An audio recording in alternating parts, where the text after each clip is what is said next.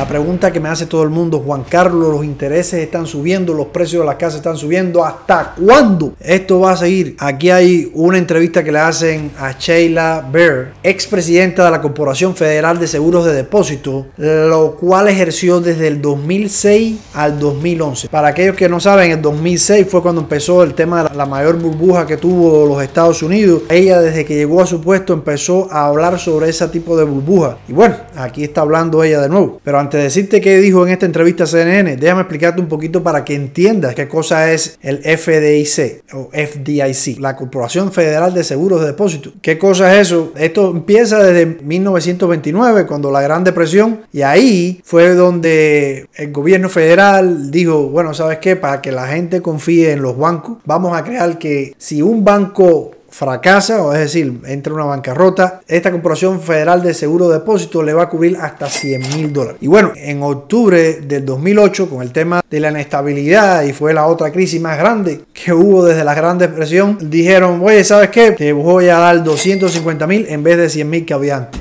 Sí, pues hay que darle confianza a la gente de, alguna forma. Entonces ya sabes, esa era la expresidenta y fue la primera que dijo, oye, esto va a explotar. Y ahora está hablando de una posible burbuja. Vamos a ver qué dijo. Bueno, dice que la asequibilidad de la vivienda es ahora peor que antes de que estallara la burbuja de 2006. Dice que hablando de una burbuja, ese es un desequilibrio clásico entre la oferta y la demanda, dijo recientemente Sheila Bear a CNN. Bear se desempeñó formalmente como presidenta de la Corporación Federal de Seguros de Depósitos y fue una de las primeras personas en reconocer el riesgo total de los préstamos hipotecarios de alto riesgo que ayudaron a eliminar la burbuja inmobiliaria que precedió a la gran recesión, como ya acabo de decir. Bell dijo a CNN que los precios de la vivienda en Estados Unidos hoy están burbujeando después de años de tasas bajas en el 2020, 2021 y principio del 2022. Cuando las tarifas eran más baratas, es decir, los intereses eran más baratos, mucha gente quería comprar. Al final se produjeron aumentos de precios realmente espumosos o burbujeantes. Eso fue bastante predecible, dijo Bear a CNN. Se está gestando una burbuja inmobiliaria en Estados Unidos, pero no es la burbuja que ya conocemos. Vamos a ver qué quiere decir con eso. Una burbuja inmobiliaria puede ocurrir cuando los precios de las viviendas suben tanto que se separan de la demanda. Durante años, a medida que los precios de las viviendas se han disparado y los problemas de asequibilidad se han agudizado, los expertos y economistas en vivienda han seguido insistiendo que el mercado inmobiliario actual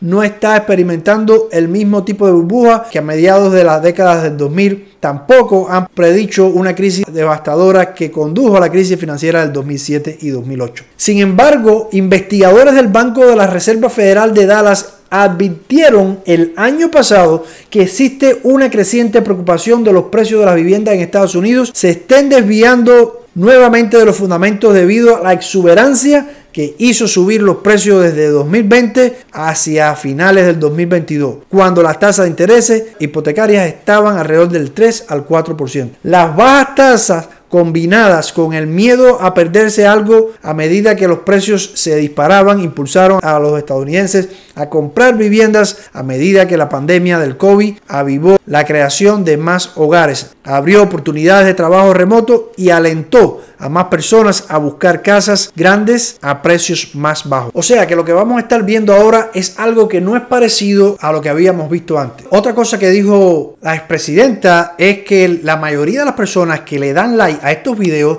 supuestamente van a agarrar un mejor interés que las demás gentes que no le dan like. Ah, es una broma, pero si me das un like, no me pongo bravo y ojalá que muchas cosas buenas te pasen. La buena vibra siempre es importante. Así que dame ese like, suscríbete si no lo has hecho. Y si eres una de las personas que llega hasta el final de este video, pues te felicito porque ahí donde viene el momento donde yo voy a leer todos los comentarios. Así que me gustaría ver tu comentario de qué crees, cuándo va a llegar esta nueva recesión o cuándo tú crees que va a explotar esa burbuja. Interesante, ¿verdad? Vamos a seguir leyendo. Dice, ¿por qué los precios de la vivienda son tan altos? Culpa el trabajo remoto, no a la burbuja especulativa, según un estudio de la FED. Hmm, interesante, vamos a ver qué dice. Aunque Bell dijo que los precios de la vivienda deben corregirse a la baja, no espera que eso suceda pronto porque Estados Unidos también está experimentando una escasez de viviendas, lo que ha ayudado a mantener los precios altos incluso en medio de las altas tasas de intereses actuales, según CNN. Si la oferta sigue siendo limitada, esto podría continuar durante algún tiempo, dijo CNN. Bear no espera que la burbuja explote, pero dijo que dejar que se desimple un poco sería algo bueno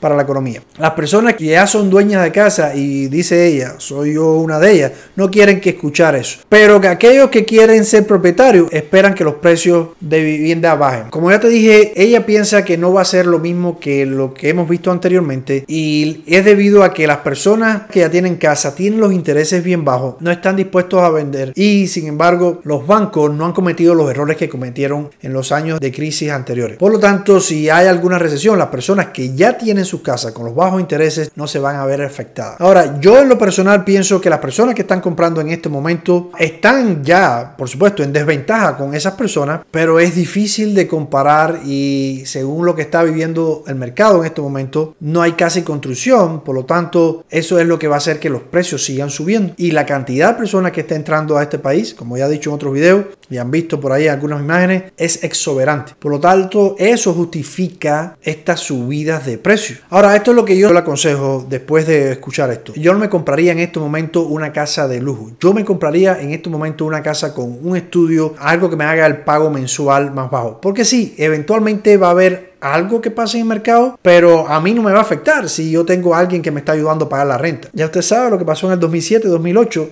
los precios empezaron a bajar, pero ahora en estos momentos están al doble de lo que estaban en el 2007-2008. Por lo tanto, es cuestión de tiempo. Y si usted espera tres años, cuatro años en lo que se recupera el mercado y todo eso para empezar a comprar, pues, pues, lo más probable es que no pueda comprar porque en ese momento es cuando la economía está hecha un desastre, usted no tiene trabajo, todas las condiciones están como que para que no puedas comprar. Y es por eso que yo siempre trato de comprar, no importa en qué momento y qué crisis sea, porque siempre va a haber mejores momentos o peores momentos, la idea es tomar acción. Vamos a decir que se repite en el 2024, lo mismo que pasó en el 2008. Bueno, y pasan 10 años y un águila por el mar, los vuelven a subir los precios de las casas y yo lo único que necesitaba era un inquilino en el garaje que me ayudara a pagar la casa. Eso es lo que tiene que hacer usted. Olvídese de burbuja porque las casas siempre van a subir. Eso no lo para nadie. Para que las casas empiecen a bajar y sea lo opuesto a lo que ha pasado en más de 100 años, ese sería el apocalipsis. Es decir, los millonarios van a perder donde tienen metido todo su dinero, que es en bienes y raíces. Y eso, eso no le va a pasar a ningún millonario. Usted y yo que estamos empezando a aprender en este, en este país, lo que tenemos que hacer es asegurar, aunque sea una migaja del pan y comprarme algo. No regalar el dinero a otra persona. Porque sí, eso es lo que va a hacer usted si sigue pagando renta. Bueno, ahora llegó la parte que más me gusta a mí y es la de leer los comentarios que a todas las personas estas que llegaron hasta el final me comentaron. Es el momento de que usted y yo podemos tener una conversación y bueno, yo poder responderle a todas sus preguntas. Bueno, aquí tengo la primera pregunta de Gustavo. Dice, hay que cuidarse mucho de las estafas con los cursos de todo tipo. Buena información. Así mismo es, Gustavo. Gracias por el comentario. Dice Yalile, importante para saber qué decisión tomar. Gracias, Yalile. Claro que sí. Eso es con respecto a este video que hice de no compres cursos para invertir en real estate si antes no ves este video. Dice Adiel, gracias por la información. Gracias, Carlos. Gracias, Juan Carlos. Interesante y útil esos consejos. Lina dice que buena información. Ariadne, excelente información. Pues gracias a ustedes. Borges dice, tus videos siempre nos enseñan cosas nuevas.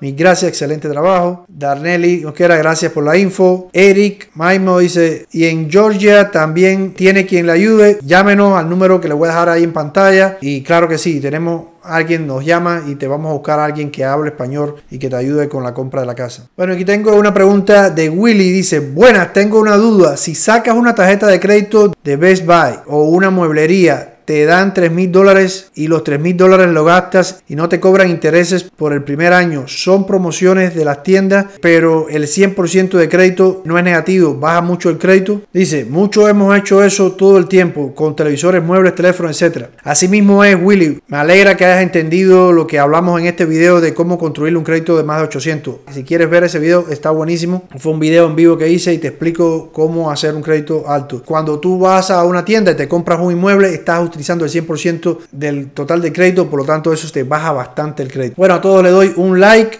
y un corazón y gracias por comentar. Bueno, eso es todo por hoy. Mi nombre es Juan Carlos Carrera, soy realtor e ingeniero aquí en Las Vegas, pero si está interesado en comprarse una casa o vender una casa en cualquier parte de Estados Unidos, llámenos porque le vamos a poder recomendar a alguien. Eso ha sido todo por hoy, pero recuerde que estamos todos los lunes, miércoles y viernes a las 12 del día y estamos haciendo los en vivos la mayoría de las tardes a eso de las 5 de la tarde. Así que si tiene alguna pregunta, recuerde vernos a las 5 de la tarde en vivo, de lunes a viernes, cada vez que tengamos un chance y no estemos entregando alguna llave a algún cliente. Nos vemos, chao.